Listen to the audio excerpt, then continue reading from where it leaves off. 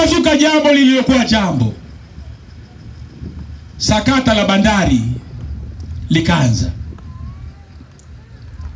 Sisi kama chama kikuu cha upinzani tulikuwa watu wa kwanza kuionya serikali ya CCM, na mimi nikiwa nchini Ubelgiji, nchini Ujerumani, kwenye jiji la Berlin, nilizungumza na Watanzania baada ya kujaribu kuishauri serikali ya CCM, nikaona hawa ni sikio la kufa lisikii dawa. Nikawaambia, nikaongea na waandishi wa habari nikiwa Ujerumani,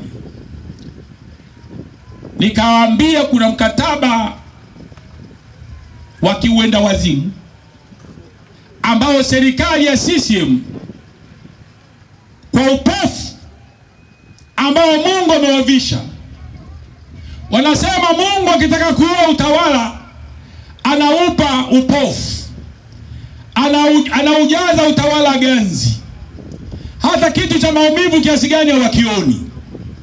Nikawaambia, nikamwambia rais, nikaiambia serikali, kama kuna mkataba wa hovyo kwenye historia ya nchi yetu ni mkataba wa bandari. Achaneni na mkataba wa bandari. Wakati huo naongea na taifa nikiwa Jerumani.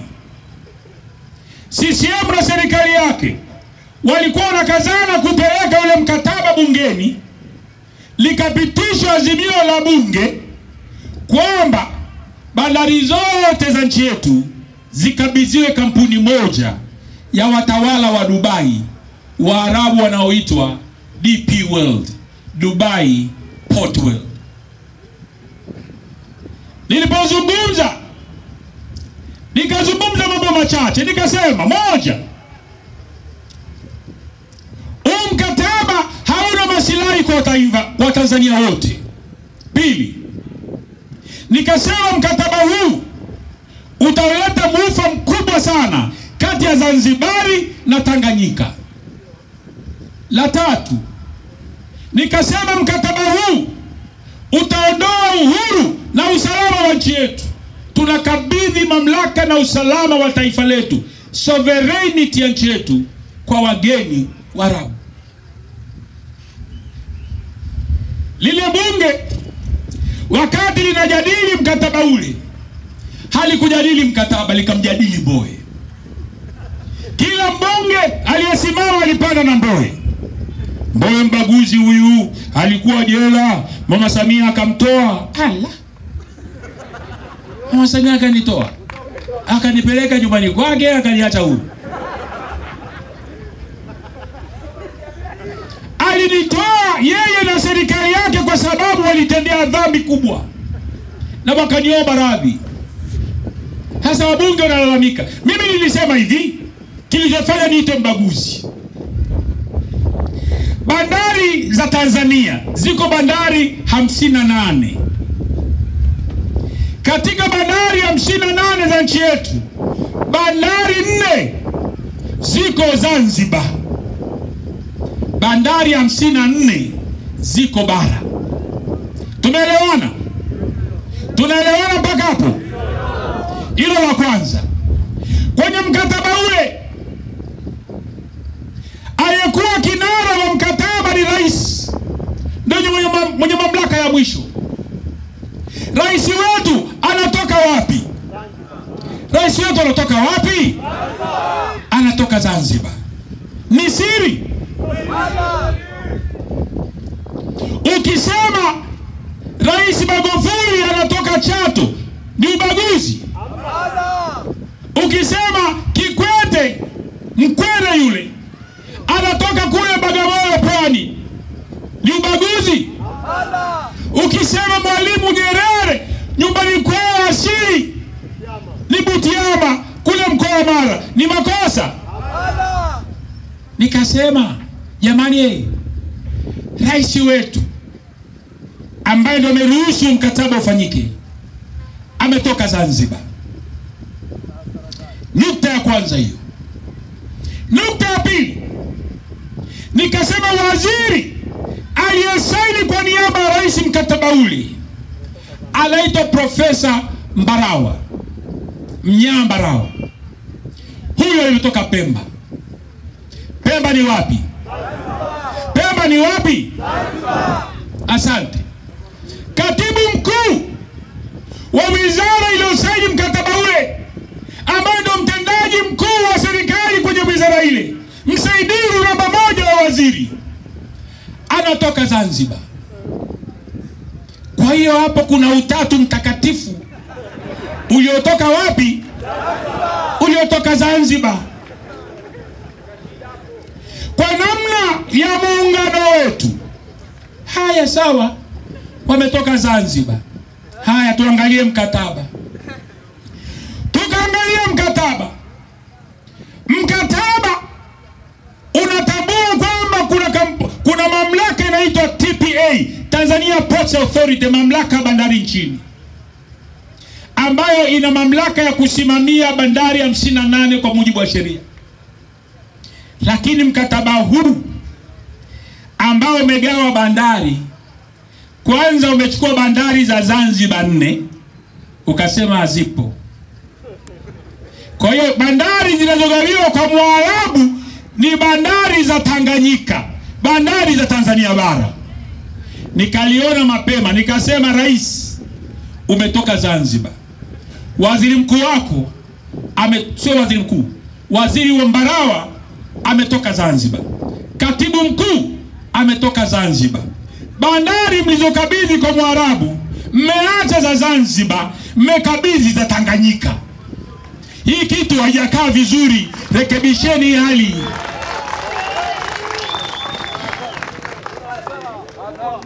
Mnanielewa jamani?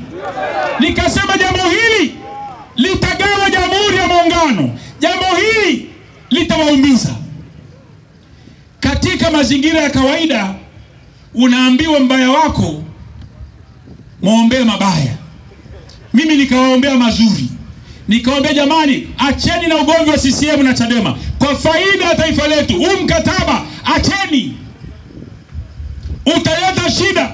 Wakanigeuzia kibao mzee, bungeni kila mbunge anayesimama anapanda na Mbowe. Mbowe huyu mbaguzi sana, rais wetu ni wa muungano. Eh, eh, nikasema sawa, nikakaa pembeni nikawa na chali wanaume na wanawake wakaanza kulidaka eh, hivi imekuwaje? Mkataba umekuwaje? Mkataba umekuwaje? Watu wenye akili zao wakaanza kuangalia mkataba. Mimi Mbowe sikuzungumza kwa niaba yangu, nilizungumza kwa niaba ya chama chetu, baada ya mimi na viongozi waandamizi wa chama changu, kamati kuu, kushauriana kwamba huu mkataba tupinge kwa nguvu na uwezo wetu wote. Chadema tukaweka msimamo kwamba mkataba huu hatukubali, hatukubali na hatukubali. Chadema ilikuwa taasisi ya kwanza iliyopinga mkataba huu hadharani nikiwa Ulaya. CCM hawakusikia, wakashupaza shingo, wakapeleka mkataba bungeni kupitisha kama ulivyo.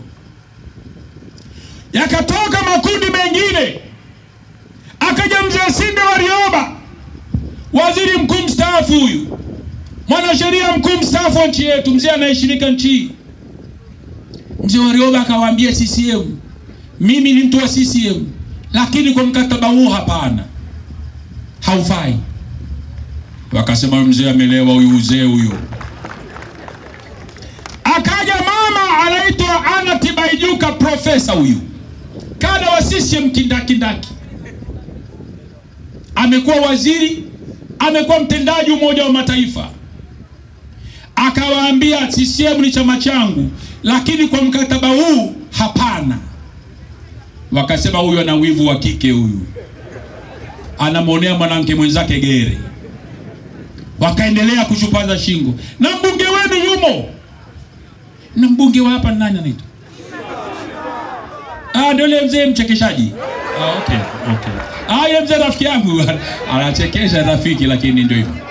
Kishimba ni mojawapo ya wabunge waliokubali mkataba huyo uendelee, wakati Kishimba ni mfanyabiashara mzuri tu. Nimwache Kishimba, ntarudi siku yake. Akaja mzee anaitwa Joseph Butiku. Joseph Butiku alikuwa katibu wa Rais Nyerere kwa miaka ishirini. Akamwambia CCM, chama changu, kwa mkataba huu hapana. Kikaja chama cha mawakili Tanzania kinaitwa TLS, Tanganyika Law Society, umoja wa mawakili na wanasheria zaidi ya elfu saba wa nchi hii wakaiambia CCM, sisi kama mawakili wenu tumechambua mkataba huu kifungu kwa kifungu, haufai hata kurekebisha. Wakapuuza. Makundi mbalimbali ya wanaharakati, taasisi zisizokuwa za kiserikali, watu binafsi wamepinga mkataba ule. Huu mkataba haufai. Wao wenzetu wanatumia wasanii kubezabeza eh. Viongozi wa madhehebu mbalimbali ya dini wakasema hapana, mkataba huu sio. Waliofunga kazi juzi juzi hapa wiki iliyopita ni baraza la maaskofu wa kanisa Katoliki Tanzania nzima.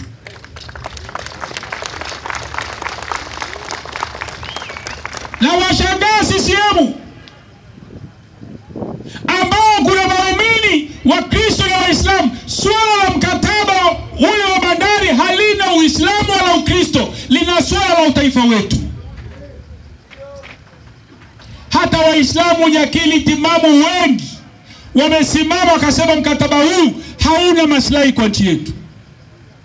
Basi wanaokotwa mashehe mashehe wanakatiwa katiwa mkono, wanasimama wanasema ni tuna Wakristo wanapigana na Uislamu. Hakuna swala la Uislamu mzee. Hata Magufuli chini ya utawala wake, wakati anafanya mambo ya kulinajisi taifa na kuua watu ovyo, kanisa lilisimama likatoa waraka kumlaani Magufuli na kuitaka serikali yake ichukue hatua. Hawakujali ni Mkristo wala ni Mwislamu. Tunachojali ni maslahi ya taifa letu. Kwa hiyo wasitokee watu wanatugawagawa hapa, mambo ya ovyo ovyo ya kitoto hapa. Bila oga yeyote miongoni mwa jamii ya Watanzania atakayesimama kusema kutetea bandari zetu ni mgawanyiko wa kiimani kati ya Waislamu na Wakristo, huyo ni mwenda wazimu.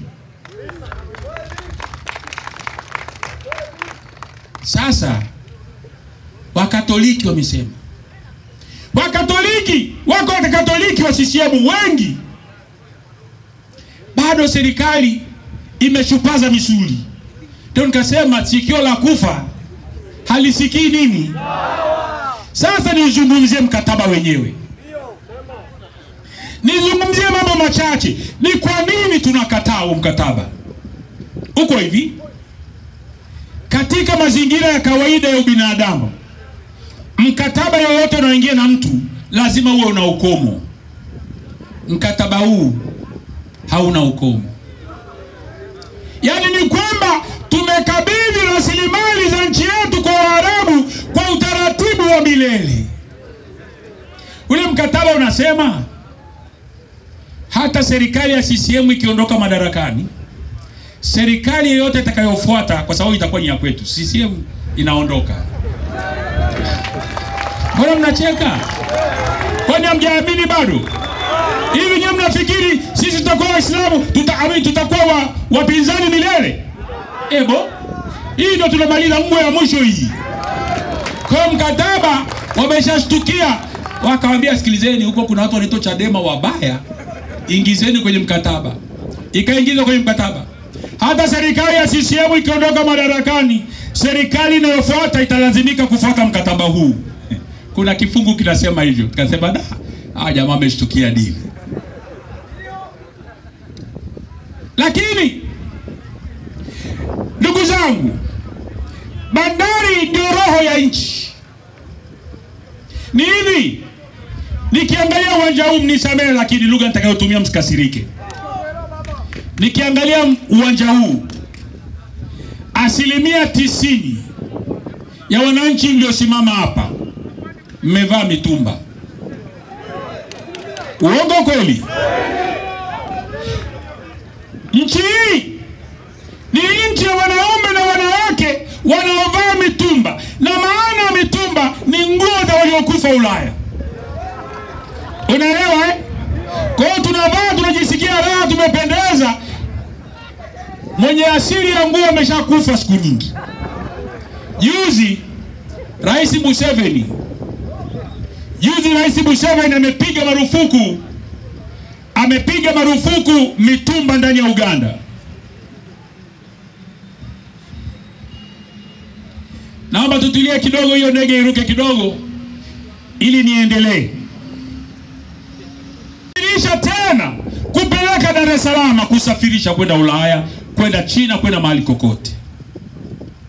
Zawadi ya bure tuliopewa na Mungu. Uganda anatutegemea, Burundi anatutegemea, Rwanda anatutegemea, Kongo inatutegemea, Zambia inatutegemea, Malawi inatutegemea, pesa za bure. Alafu inatoka serikali yenu inachukua bandari zote na uchumi wote huo, inakwenda kumkabidhi Mwarabu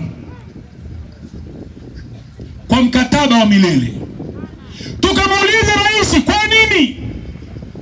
Akasema kuna wizi sana pale Dar es Salaam bandarini, tumeshindwa kuudhibiti ule wizi. Ala, bandari inasimamiwa na CCM. CCM wanakiri kuna wizi. Kama wao waliiba kura, wenzao wakaiba bandarini, si game draw? Lakini tuache hayo, mnachukua bandari yenu na uchumi wote na makusanyo yote ya bure, mnaikabidhi asilimia mia moja kwa Mwarabu. Huu ni uenda wazimu, ndugu zangu wa Kahama. Alafu mkataba unasema hata kama kuna ugomvi hautavunja mkataba, na kama mkilalamika sana, basi tutapeleka mahakama ya Afrika ya Kusini kuamua mgogoro huo, sio kwa sheria za Tanzania na hizo sheria ya Afrika ya Kusini, hiyo mahakama ya Afrika ya Kusini itaamua kwa kufuata sheria za Uingereza, na serikali yetu ina saini. Vipofu wa kufa mtu. Yaani, kwa maneno mengine, mnachukua mamlaka ya serikali yenu mnakabidhi Waarabu, na inasema hata kama mtataka kufanya marekebisho kwenye bandari yenu yoyote ile lazima serikali ya Tanzania ikaombe kibali Dubai. Yaani leo serikali ya CCM iseme inakusudia kufanya marekebisho bandari ya Mwanza, haiwezi kufanya. Ndugu zangu, nilikuwa nasema kwamba hata kama serikali yetu inataka kufanya marekebisho yoyote kwenye bandari yetu yoyote, kwa mfano Mwanza lazima kwanza serikali ya Tanzania kwa mujibu wa mkataba huu iende Dubai ikaombe kibali. Yaani mnachukua mali yenu mnamkabidhi mtu, alafu kesho kuta huyo mtu mlimkabidhi mali yenu ndio anayewapangia mfanye nini. Weneno wa Dubai wanania kukontrol uchumi wa Uganda, Rwanda, Burundi, Zambia, Kongo na Malawi kwa kupitia Tanzania tunakabidhi bandari lango la kuingia nchini.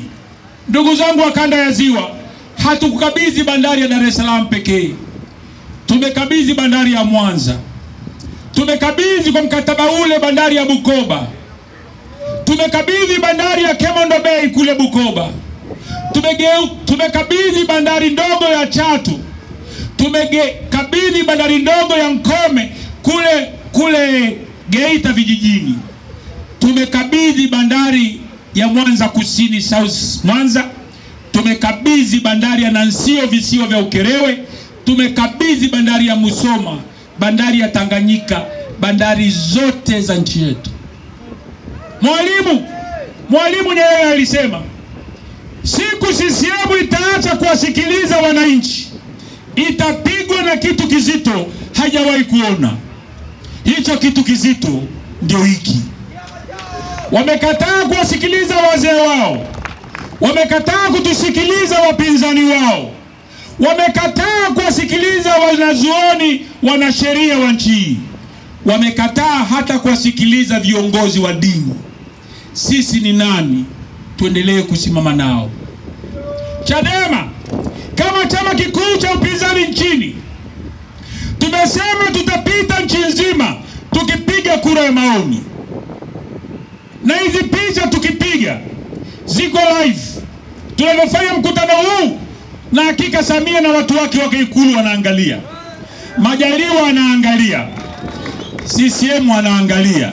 Leo Kahama watasemaje? Huko kote tulikopita, wananchi hawataki kusikia biashara ya bandari yetu kuondoka. Leo tunataka tupige kura ya Kahama. Mko tayari? Kahama, mko tayari? Naomba kwenye uwanja huu maelfu ya wananchi wote mlioko hapa, wote msiache kupiga kura. Watu pekee ambao nawaomba wasipige kura ni askari, kwa sababu hawa bali ya kuwa mawakala wao siku hizo wamewashtukia.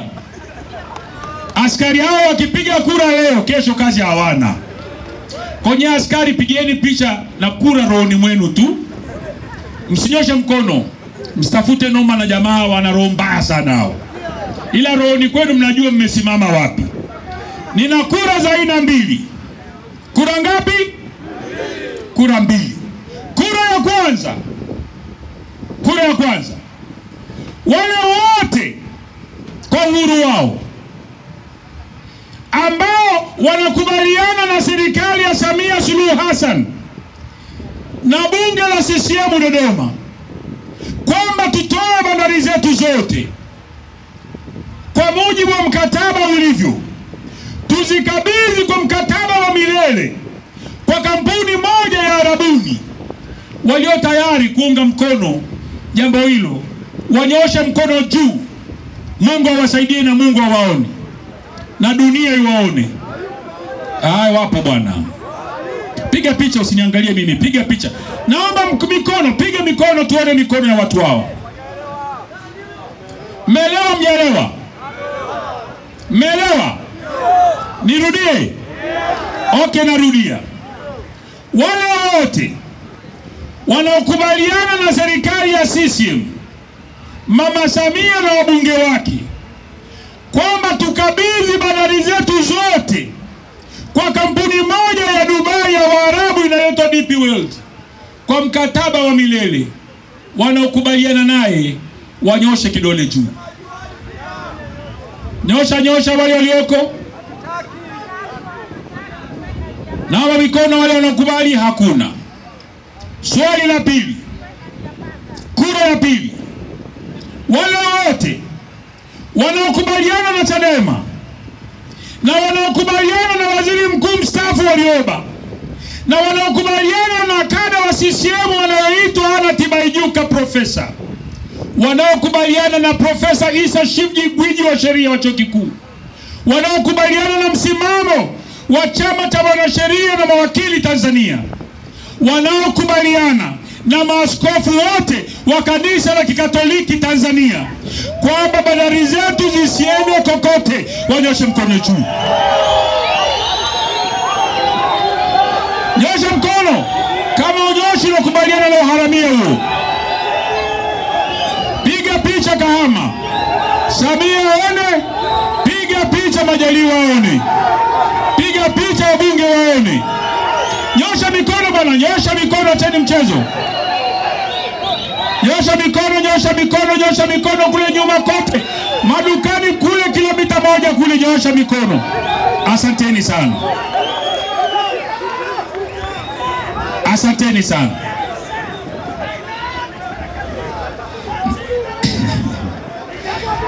Asante, asante mzee, tumekuelewa. Kuna mzee anasema yeye Wasukuma mnaita mwalo, si ndio? Mnataka tupige mwalo ama tumalizie hapo? Mwano, mwano, mwano, sijui wewe. Mko tayari hiyo? Nataka tupige mwano.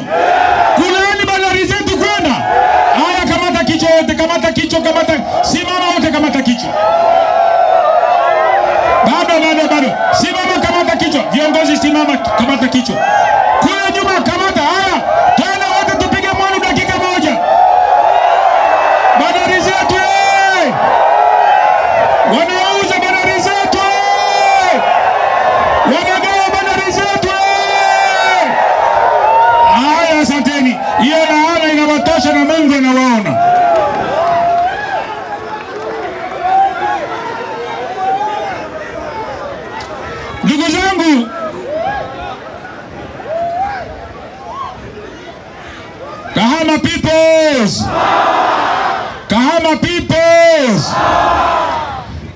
Zangu wa Kahama, safari hii saa hizi ni saa kumi na mbili.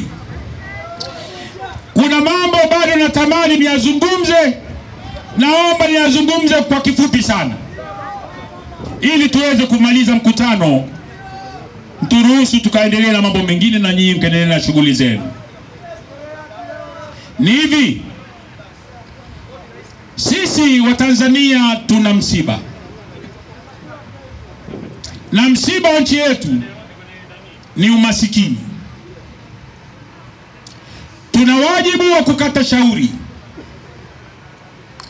kama tuna kusudio la kumaliza msiba wetu wa umasikini ni lazima tukubali huo msiba tuuzike ili tuumalize. Nimekwenda kona zote za nchi hii, kuna msiba mmoja mkubwa wa umaskini.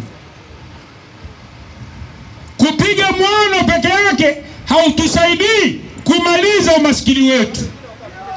Tutaweza kumaliza umasikini wetu siku tutakapoamka na kukushikana mikono kung'oa CCM, tubadilishe utawala, turudishe utawala unamwogopa Mungu. Nawaomba sana Kahama, kajipangeni, viongozi wangu, hii kazi hamwezi kuifanya wenyewe. Huko miongoni mwenu wako watu viongozi wazuri, tunaomba ushirika na umoja wenu uwe Mwislamu uwe Mkristo uwe mpagani, tunawahitaji. Kuna vijana wazuri, kajiandaeni kushika hatamu za uongozi wa nchi yetu. Kuna wamama wazuri, kajiandaeni. Namna pekee ya kumaliza msiba wetu wa masikini ni lazima tumalizane na CCM. Hawa jamaa leo wameshalegea, tunapigania tupate mabadiliko ya katiba huko juu tunapigana tuweze kupata tume huru ya uchaguzi na mabadiliko mahususi ya mifumo yetu ya uchaguzi, kuruhusu uchaguzi uliokuwa huru na haki kabla ya mwaka ujao, na nina imani tutafanikiwa. Lakini ili azma hiyo ikatimie vizuri, lazima mkiimarishe chama hiki. Naomba kuwauliza, ni wangapi miongoni mwenu mnaamini CCM bado ina uwezo wa kubadilisha maisha yenu? Nyosheni kidole juu. Hakuna. Ni wangapi mnaamini Chadema ina uwezo wa kubadilisha maisha yenu? Nyosheni kidole juu. Sasa hii ni kauli ya Mungu, kauli ya wengi, ambao hata makatoliki wale maaskofu ma, wetu wamesema kwamba kauli ya wengi ni kauli ya Mungu. Sasa vidole hivi vikatembee ndani ya Chadema, ndani ya kila mtaa, ndani ya kila kijiji, ndani ya kila kata. CCM wanajua uchaguzi huru na haki. Asubuhi nimewaambia misa ya kwanza, hebu kakijengeni chama hiki. Viongozi wangu, fungueni milango, pokeeni wananchi hawa, washirikisheni wananchi hawa. Umoja wetu ndio kauli ya Mungu. Kunja ngumi Mbowe ni wage, kunja ngumi ni wage kule nyuma asiyekunja ngumi mchawi, lakini najua Kahama mna wachawi. Okay, haya, koroga kidogo hivi, koroga picha pi, wapiga picha wapate picha ya kuondokea hiyo, hii rushwe moja kwa moja mpaka BBC. Okay, koroga makamanda kule, koroga ngumi hiyo, koroga koroga koroga koroga. Peoples bado bwana, Peoples Peoples Asanteni sana Kahama, Mungu awabariki sana. Tutarejea Kahama tukikute chama kwenye kila mtaa, kila kitongoji, kila nyumba, kila kila kitanda. Asanteni sana, Mungu awabariki.